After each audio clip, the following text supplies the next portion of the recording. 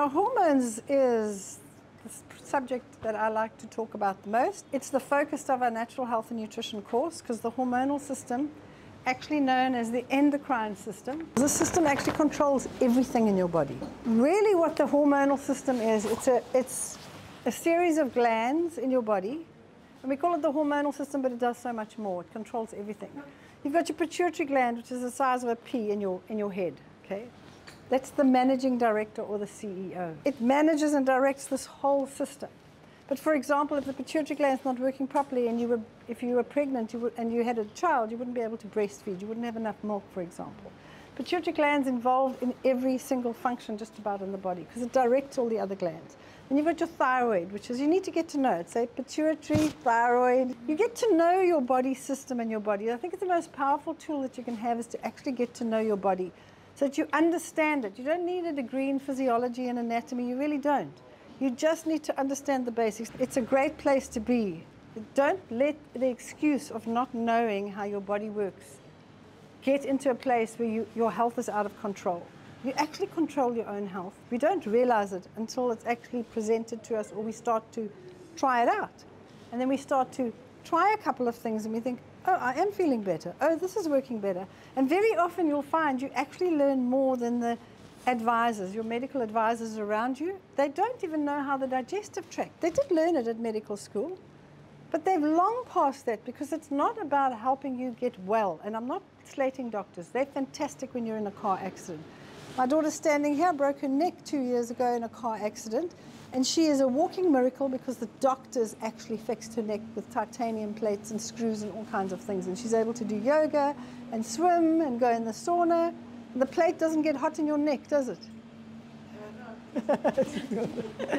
so she's a walking miracle. And the last thing I'm going to do is say we don't need doctors. We do. In the world we live in with these accidents and things, they're fantastic in putting bodies back together and putting your blood back in you and everything else. But when it comes to your day to day health, they're not going to help you find the problem. They're going to treat your symptom. And so a doctor, a good doctor will actually tell you. He'll, they say to you, and I have doctors as friends, all we do is we help people to manage their conditions with things that suppress symptoms. That's what you do. We'll suppress your symptoms. We won't say, how did the candida get into the lungs? What's the rest of the body like? Oh, you've got candida in the lungs. Big doses of antibiotics. So they'll treat it, but there's no, we know you can't cure candida overgrowth with antibiotics. It's a known fact. You can't do it because you just keep destroying the friendly bacteria, okay? So it's up to us to understand our bodies, and you don't need to have a physiology textbook, but they're actually quite a lot of fun to read because you sit there and think, oh my word, my liver does 500 different, performs 500 different functions. Now, I put a lot of that stuff in the 365 program, which is one of our online programs, where you're learning about your body, your 12 pillars of health, your 12 body systems, one of them is the endocrine system, which you learn about in the first sort of first month. There's a kind of general getting into it, and in that first month, when you're getting into a body system, we cover this endocrine system in a lot, a nice bite-sized pieces, so you really understand how it works. So this is me just doing it briefly for you to help you to understand. If you want to know more about your body, the 365 is an ideal program for you to go on. It's an entire year of emails, every day learning about your body, and you meet with me every week to ask questions on Zoom. It can be on a Wednesday night or it can be on a Thursday morning. And if you want to know more, there's the Natural Health and Nutrition course you can study, which will help you to help other people. Otherwise, you can just go on YouTube and learn whatever you want to learn and make sure that you're learning from people who actually live a healthy lifestyle because there's a lot of nonsense out there as well. So the endocrine system, okay? The uh, thyroid gland controls, as I say, the body weight, your metabolism, your muscle tone, your muscle strength. It also controls mental clarity. So when you have those brain fog issues, you know that something's happening with the thyroid. Now, for me, for example, I found that if I have gluten or I have garlic and onion, it affects my, my brain. I have brain fog. So I'm like, that's affecting me. Now, that's been fascinating for me to find out that gluten does affect the thyroid gland can slow down the function of the thyroid. So you can slow your metabolism down, which would explain why even when I had organic whole wheat bread, one slice a day, every day for five days, I would gain five kilograms, literally. And I would gain 10 years on my face. Mark used to say to me, What are you doing? You look like 10 years older in a week. What have you done? And I, was trying, trying to figure out what it was that I was doing. And I've never been a big bread eater, so it would be like a slice of bread. Organic, homemade, whole wheat. I've made it myself, for goodness sake. It's supposed to be healthy. So I found that I was gluten intolerant. When I stopped the gluten, I found out that I'd actually probably been constipated my whole life, but I didn't realize it. That's also the thyroid gland controls the movement of food through your digestive tract. So constipation is a sign very often, chronic constipation. How do you know you're constipated? Very easily. Put up your forefinger. That's how thick your stools should be when you actually go to the bathroom. Most people find they're not. They're more like three or four fingers. You're having to sit in the bathroom and nothing happens and nothing happens, constipation doesn't mean you never go. I have met a woman who didn't go to the bathroom and have a bowel movement for two whole weeks. And I meet people that don't have for three days. You should go between one and three times a day very comfortably without pushing, without straining. It should work comfortably. That's how it should work. If you eat beets today, or you eat corn off the cob today, and you look when you next go to the bathroom within 24 hours, they should be coming out. If they come out 78 hours later, that's how sluggish your bowels are. Sorry to talk about this gross stuff, but it's part of life, okay? Can't believe what questions I get asked over the dinner table if we go to dinner with people. So at the end of the day, you don't want to be constipated because the most common form of cancer in South Africa and westernized countries like ours is colorectal cancer. And it's because our food is in our digestive tract for way longer than it should be, and you get, you, you get inflammation, um, and, the, and, you get that chronic inflammation because you've got food lying there much longer than it should. It's waste products that should get out. Chronic inflammation eventually causes damage to the, the, cells. And when you get damage, you might get some gastrointestinal bleeding, you might get some ulceration, you might get and that goes on for years and years, and eventually you're getting these damaged cells reproducing damaged cells, and that's what cancer is. That's all it is. It's damaged cells that have got out of control. Body can't repair itself fast enough. Okay, so you want your bowels to empty properly, you need your thyroid to function efficiently. Gluten could be one of the things that's causing that problem. I had to make the choice. Bread, discomfort. Bread and brain fog, bread, you know, it just, just dry skin. My skin used to dry out terribly from it. And, the, and again, the thyroid controls the condition of your skin. If your skin is very dry and flaky and your bowels are sluggish, that's an indication that your thyroid gland's not working properly. So the other symptoms are uh, weight gain, sluggish metabolism, dry skin, dry orifice. All the spaces in your body have dried out. And you know what I'm talking about? We're all ladies here, but I'm not going into that. The nether regions of your body dry out. It's very uncomfortable, okay? So the thyroid gland controls a lot of things, and a lot of people today end up with a, thyroid gland that doesn't work properly, and then they go and get onto thyroid medication. Again, we're treating the symptom. When we've seen people change their diets, for example, Hannike's been in the group, you get people onto the 30-day detox. Janine, you've been there. 30-day detox, usually if they repeat that 30-day detox two or three months, usually by day 45 to day 60, the thyroid starts working and the weight just drops off and the skin improves and the bowels are working constipation's going, but it takes that long to correct it. Now, if you think of it, 45 days is not a long time if you happen to be 45 years old. Thank God it doesn't take 45 years to repair the thyroid. It's 45 days. The body's very forgiving. So it's just like we've got this weird thing that humans do where we just want to take responsibility for our bodies and give it to somebody else. And we don't want to think about it. But the problem is if you don't think about your health and do something today, you're going to have to live with the problems later on. And then it's a lot harder.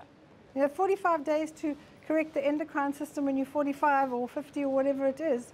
This particular woman that I'm thinking of was 50. If you just leave it and leave it and leave it, you could end up with some severe problems that's going to take longer. But honestly, I've seen the endocrine system, no matter how old you are, usually on their 30-day detox program, within 90 days max. It's like doing the 30 days three times, you correct it, okay? So it controls all of this, okay? That's your adrenal glands. Your adrenal glands control mineral balance in the body. So it's also got to do with bone density. I'm going to put their bones and teeth. You know, you go along to the dentist, says your teeth are falling out of your head. And you're like, why? I floss and I clean and I'm doing all of this right. That could relate back to endocrine your adrenal function, for example. Then you also have little cells in your stomach called the parietal cells. And parietal cells secrete hydrochloric acid in your stomach, and they're controlled by the endocrine system. And those parietal cells secrete the hydrochloric acid to activate the enzyme that breaks down protein in your stomach. And if you don't secrete enough hydrochloric acid to do that process, you won't produce enough vitamin B12. So you could end up with B12 deficiency because these cells are not working properly. You can't just go and fix them. You can't take medicine to fix parietal cells. Normally what they'll do is just give you some kind of digestive enzyme that's got hydrochloric acid in here. So, oh, you don't have enough, here it is. But it's always ideal to try and focus on getting the system working properly. All right, so then we have the digestive tract. The digestive tract is controlled by the endocrine system. There's no actual glands in there, but everything that happens in the digestive tract is controlled by the endocrine system. The other glands that we have are the reproductive glands, which is the ovaries and the testes. So anything to do with that. When we think reproduction, it's also menopause. It's menstruation. It's premenstrual tension. So if you put PMS, menopausal problems, and we start listing all of the things that go with it, the dry skin and the dry body parts and everything else, libido, all of that's connected in here. Adrenal glands help you manage stress efficiently, and just adding that there. Now, a lot of people say to you, but I'm, you know, I'm, I'm going through menopause. It's all the endocrine system here. Doesn't matter which gland it is, that's usually your genetic weak spot. A healthy woman goes through the menopause with no symptoms whatsoever. She simply stops menstruating.